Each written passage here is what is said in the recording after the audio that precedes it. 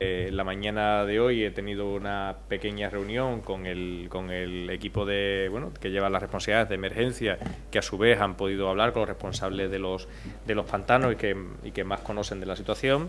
Y en principio no tenemos eh, previsiones de, de problemas. ¿no? Eh, la verdad es que hay que ser muy prudente porque en principio esperamos que sean unas lluvias que no sean, que sean intensas pero cortas en el, en el tiempo y por tanto no creemos que vayan a plantearnos un problema, pero lo cierto es que como al final el clima nunca es algo exacto, eh, por tanto hay que ser prudentes. Pero las previsiones que tenemos y el trabajo también que hemos hecho en estos días de respiro que nos ha dado la lluvia nos permite ser optimistas en, en este sentido.